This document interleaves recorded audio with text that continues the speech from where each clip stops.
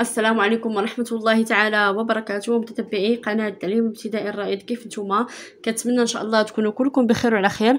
إذا يوم جديد ودرس جديد نأخذ مرشدي في اللغة العربية بالنسبة للمستوى الثالث ابتدائي نأخذ صفحة رقم 35 إذا نتمم الأسئلة الخاصة ب يعني النص ديال الأنشودة اللي شفنا. أه نحاول أننا نجاوب على الأسئلة الخاصة بالفهم اليوم إن شاء الله. واخا إذا نبدأ على بركة الله. قبل ذلك نبغي نذكر أنني غنخلي لكم رابط صفحة الفيسبوك في صندوق الوصف. بالنسبة للناس اللي كيتابعوني على الفيسبوك مرحبا بكم سواء على الفيسبوك أو على اليوتيوب. جيد جدا. اذا نتمم التمرين رقم ثلاثة. أجد عائلة كلمة كتاب. اذا لدينا هنا كتاب. غادي نحاولوا نشوفوا الكلمات اللي من نفس العائلة. اذا هنا لدينا كتب. كاتب مكتوب مكتبة. ها جيد جدا. نتمم أفهم. أضع العلامة أمام صفة الصديق التي لم تذكر في القصيدة. إذا غادي نحاولوا أننا نشوفوا أشنا هي صفة الصديق التي لم تذكر في القصيدة من بين هاد يعني الجمل اللي عندي هنا.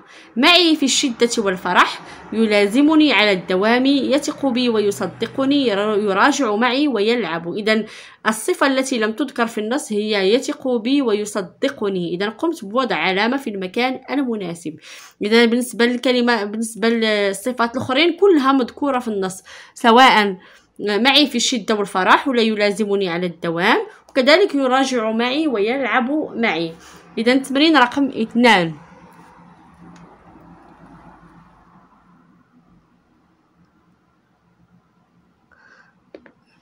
جيد.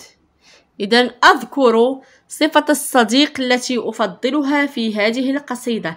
إذا صفة الصديق التي أفضلها في هذه القصيدة هي معي في الفرح والحزن. معي في الفرح والحزن أي أن الصديق ديالي كيكون معي سواء كنت في حالة فرح ولا في حالة حزن. التمرين رقم ثلاثة. أختار من القصيدة عبارة تعبر عن الصداقة. إذا نحاول أنني نختار عبارة كتعبر على الصداقة دائما أنت بقربي فالصديقين دائما كيكونوا مع بعضهم البعض. دائما أنت بقربي وخا جيد جدا. نشوفوا التمرين رقم أربعة. أركب كل كلمة مما يأتي في جملة.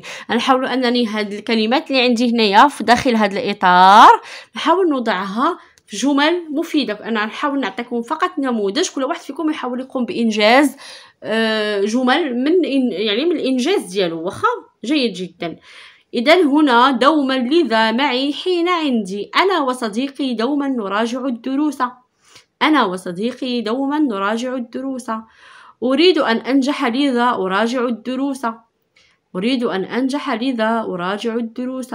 أكون سعيدا عند الذهاب إلى المدرسة. أكون سعيدا عند الذهاب إلى المدرسة. عندي قطة صغيرة وخا عندي قطة صغيرة. جيد جدا. نتمم التمرين رقم واحد. إذا أنتج شفهيا جملتين على غرار ما يأتي. يا صديقي دائما أنت بقربي وقت فرحي بل وضيقي. يا صديقي دائما أنت بقربي وقت فرحي بل وضيقي. إذا نحاول أنني ندير جمل على غرار يعني كيشبهوا لهاد الجملة هذه اللي عندي باللون الأحمر. إذا يا أخي دائما أنت سندي وقت نجاحي بل وعثراتي. وإذا يوما لعبنا كنت دوما في فريقي ولذا أصبحت عندي كشقيقي. وإذا يوما لعبنا كنت دوما في فريقي ولذا أصبحت عندي كمساعدي. اذا كنتمنى أن الدرس ديال اليوم كان واضح. نتلاقى معكم إن شاء الله في درس قادم وإلى اللقاء.